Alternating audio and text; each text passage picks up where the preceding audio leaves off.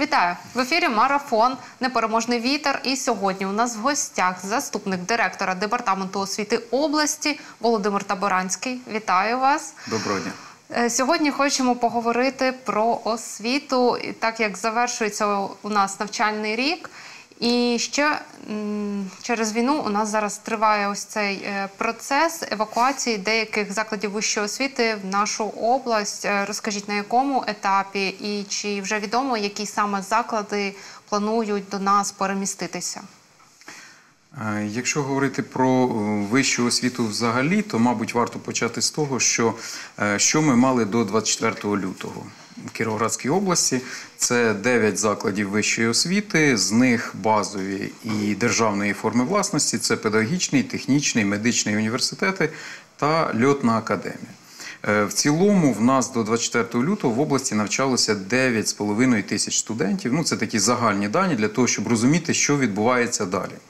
Е, Після 24 лютого е, в нас в області відбулися зміни. Ну насамперед, е, заклади вищої освіти області вони перейшли на дистанційний режим роботи, і власне в цьому режимі вони і завершуватимуть цей навчальний рік. Е, Включаючи і е, залікову екзаменаційну сесію, е, лише виключенням в окремих закладах є здача кваліфікаційних робіт, де окремо за графіком студенти будуть приходити і здавати це.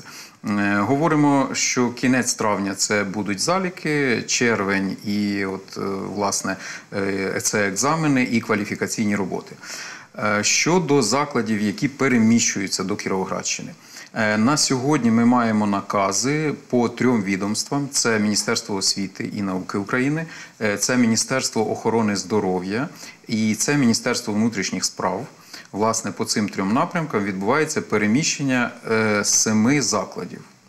Із них це три маємо університети і чотири коледжі. Е, Географічно можна сказати, що до нас переміщуються заклади Донецької і Херсонської області. З Донецької області це два університети: це медичний університет, який власне вже почав свою роботу раніше, але зараз переміщується повністю е, із міста Краматорська. Е, Це Донецький державний університет внутрішніх справ, який базувався в Маріуполі та Кривому Розі. Наразі переміщується із е, Маріуполя, відповідно, переміщується в Кропивницький. Е, Це два університети, і два коледжі маємо теж із Донецької області. Е, Це із міста Слов'янська е, коледж Національної академії е, Національного авіаційного університету. Тобто в області матимемо можливість е, починати підготовку за авіаційним напрямком після 9 класу. Це важливо. Е, І також переміщується е, до нас в область е, Лиманський коледж медичного університету. Щодо Херсонської області, то маємо три заклади: це один університет, Херсонський державний аграрно-економічний університет і два коледжі. Один коледж зі Скадовська, який в структурі цього університету працює, і інший коледж із Нової Каховки він працює в структурі Таврійського аграрного університету. Е, Всі ці заклади маємо відповідні накази відповідних міністерств. Власне, можемо сказати, що от їхнє переміщення е, почалося в кінці квітня, на початку травня. Тобто, цей процес Зовсім переміщення він триває буквально півмісяця. Е, Це поки що така перша, перший етап цього переміщення. Що ми маємо на сьогодні? По цим закладам перемістилися. Від однієї до п'яти осіб по кожному. Це представники адміністрації закладу. Власне, їм надана можливість працювати, надані приміщення, комп'ютерна техніка, доступ до інтернету і можливість е, юридично зареєструватися. Е, Щодо самих студентів, викладачів цих закладів, вони на сьогодні всі продовжують працювати в дистанційному режимі, е, в тих місцях, де вони знаходяться, тобто такого переміщення студентів, викладачів на сьогодні ще немає. Це буде наступний етап, який ми очікуємо вже перед початком нового навчального року. Е, Тому е, сьогодні заклади переміщуються поетапно. Перший етап дає їм можливість завершити навчання дистанційно. е, Студентами, які навчались, до речі, в цих семи закладах сукупно ми підрахували, працює 1700 викладачів і більше 9 тисяч студентів, які на сьогодні навчаються в різних областях України за кордоном по різному. Дистанційна форма дозволяє це робити на сьогодні. Е, Заклади матимуть можливість доступу до бази даних, до замовлення документів і до видачі власне цих документів. Е, Датою видачі документів по закладам вищої освіти, що для закладів освіти, які були на Кіровоградщині до 24 лютого, і які з'явились після 24 лютого, є 30 червня. Всі заклади вищої освіти 30 червня видадуть документи всім е, своїм студентам. Е, Яка ще специфіка з'явилася? Е, Сьогодні набуває поширення таке явище, як внутрішня академічна мобільність.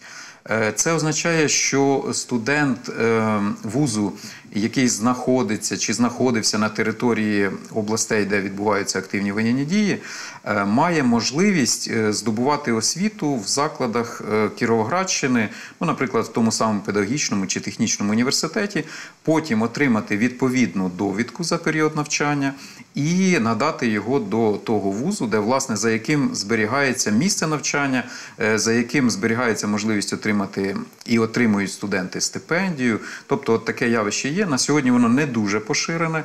Е, Маємо поки що чотирьох учнів у професійно-технічній освіті, е, маємо трьох студентів у коледжах і сім студентів у закладах вищої освіти. Але поступово цей процес, е, ну він кількість учасників цієї мобільності збільшується. Скажіть, керівництво університетів і інших навчальних закладів, які там планують до нас переїздити, вони ж звертаються і до вас, і до вашого управління. З чим про що вони просять? Е, Поки що мова була про елементарні умови, кілька кабінетів, комп'ютери, доступ до інтернету.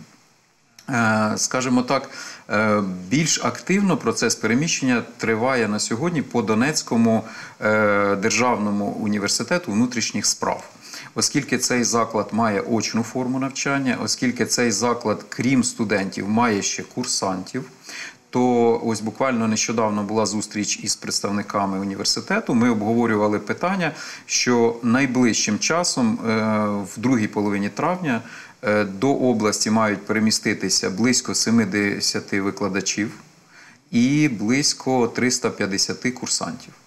От, власне, над цим ми працюємо. Е, Для того, щоб їх розмістити і повноцінно організувати процес, е, недостатньо того приміщення, яке зараз використовується університетом, а це приміщення, де свого часу е, був інститут Харківський юридичний, потім медичний університет, зараз там Донецький державний університет внутрішніх справ.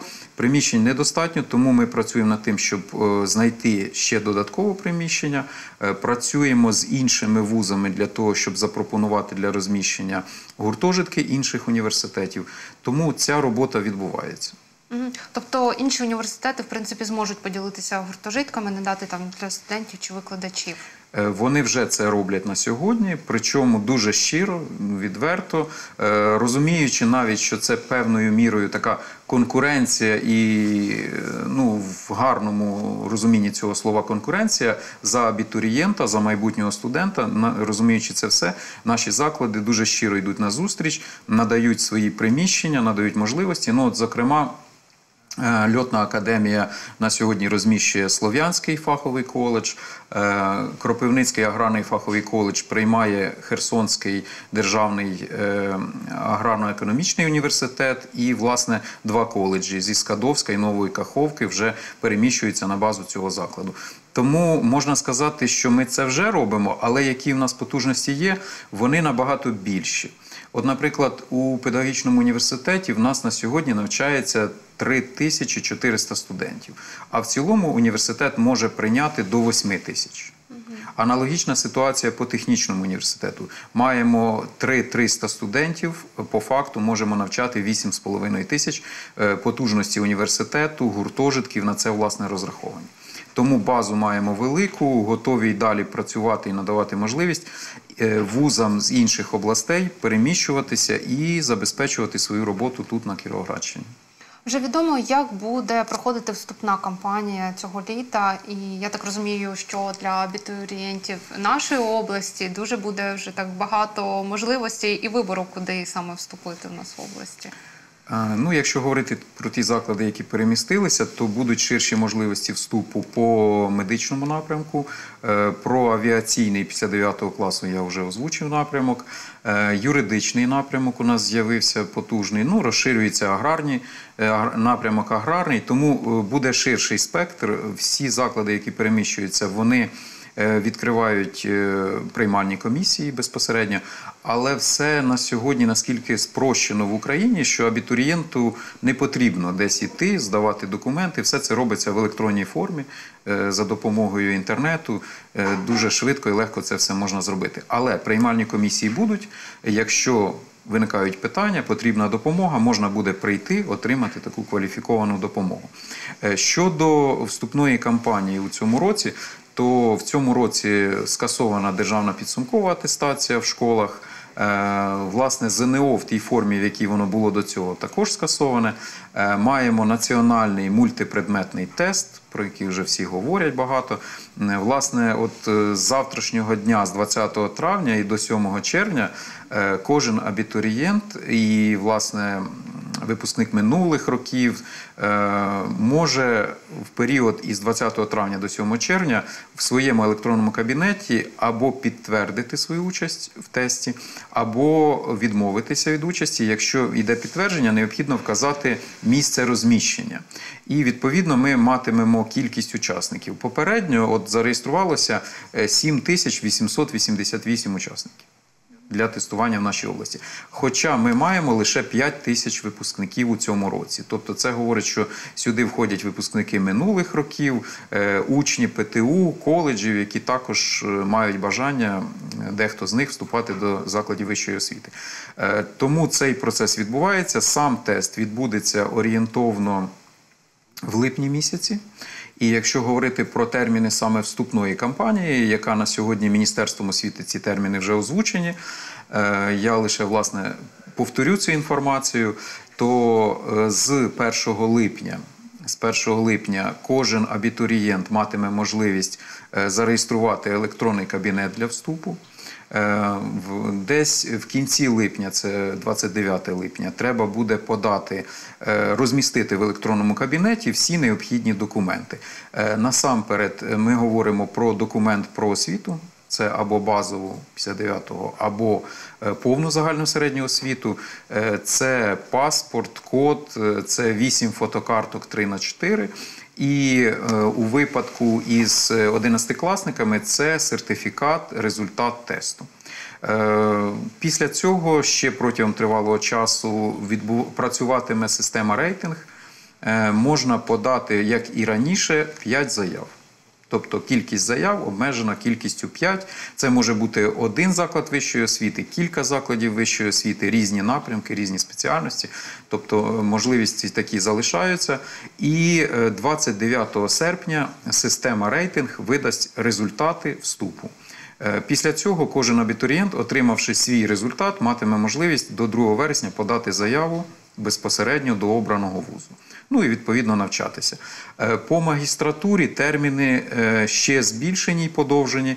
Е, Там е, 1 серпня лише створюються кабінети. До середини вересня там відбувається процес розміщення документів, прийому, і власне лише в другій половині вересня відбувається сам процес прийому до магістратури. Тому Міністерство освіти, враховуючи воєнний стан, е, в цьому році суттєво е, збільшило терміни по реєстрації заяв, по прийому документів, взагалі по вступній кампанії для того, щоб всі, хто бажає, мали таку можливість, отримали можливість вступити в вуз, отримати освіту. Але ось це збільшення термінів, воно потім вплине на наступний навчальний рік. Він буде довшим. Е, По навчальному року поки що по законодавству змін немає. Е, Навчальний рік розпочнеться в закладах вищої освіти е, у вересні місяці. Це анонсовано. Е, Ну, власне, самі терміни поки що вони не змінюються. От по законодавству ми маємо навчальний рік з 1 вересня по 1 липня. От в основі воно так все залишається. Все буде залежати від конкретної ситуації. Зрозуміло, якщо ситуація покращиться, то буде так, як зараз озвучено. Якщо е, можливо ситуація буде погіршуватися, чого нам всім цього дуже не хотілося, але тоді будуть міністерством прийматися якісь інші рішення. Ну а ми власне будемо їх виконувати. Але все ж таки сподіваємося на нашу скору таку перемогу, що все налагодиться. Дуже дякую вам за розмову сьогодні. Це дійсно зараз важливо і для вступників, і для їхніх батьків, тому що зараз багато хто не розуміє, як жити далі і що взагалі чого чекати. Дякую за запрошення. І, звичайно, всі, працюємо. Кожен на своєму робочому місці робить все можливе для того, щоб е, забезпечити надійний тил і якомога швидше наблизити нашу перемогу. Тож наближаємо перемогу разом. Дякую вам, що дивитесь нас. До нової зустрічі.